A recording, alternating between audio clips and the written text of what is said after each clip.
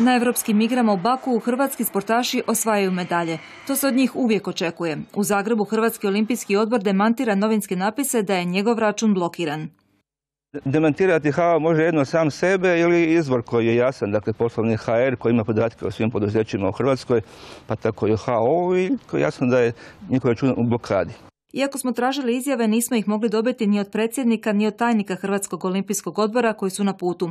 Ali smo dobili podatke portala Poslovna HR da je račun Olimpijskog odbora u blokadi od 24. lipnja. Riječ je ovaj, o ovrsi banke zbog kredita sportske televizije kojima je HAO jamac. I dakle, do daljnjega, dok se ne blokira račun, to može biti naravno vrlo brzo, se hrvatski sport ne može preko HAO financirati. Naime, u slučaju blokade uplaćeni novac Ministarstva znanosti, obrazovanja i sporta koji je namijenjen sportašima, savezima i samom odboru odlazi u druge svrhe. Ako to postane učestali slučaj, morat će naći neki drugi način, očito ministarstvo financiranja sporta, i kroz račun HAO-a koji je sve češće pod ovrhom, to možda neće moći biti moguće. Kako bi hrvatski sportaši nastavili ispunjavati naša visoka očekivanja i osvajati medalje, ovakvi problemi zasigurno ih ne bi smjeli čekati na povratku sa svjetskih natjecanja.